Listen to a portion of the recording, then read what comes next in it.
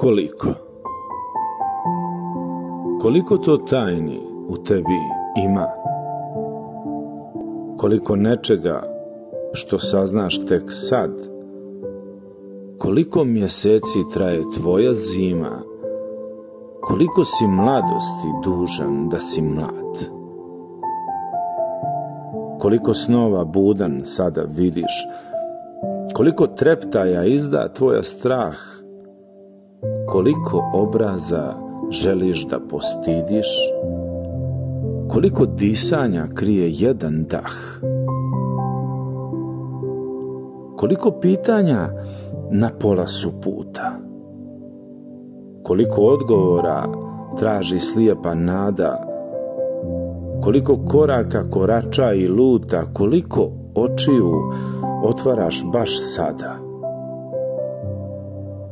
Koliko su čula ugašena, tiha? Koliko osmijeha duguješ ti meni? Koliko proljeća krije par minuta? Koliko šarenog ljubav zacrveni? Koliko si volio baš u ovom danu?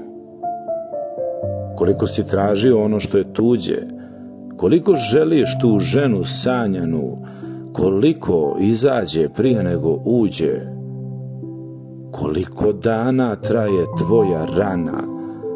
Koliko srce izdržati može? Koliko plodova rađa jedna grana? Koliko štapića jaku vatru lože? Toliko isto kao i koliko. Toliko malo ili još i manje. Toliko dugačko bit će samo tanje. Toliko je i život sanjano nadanje.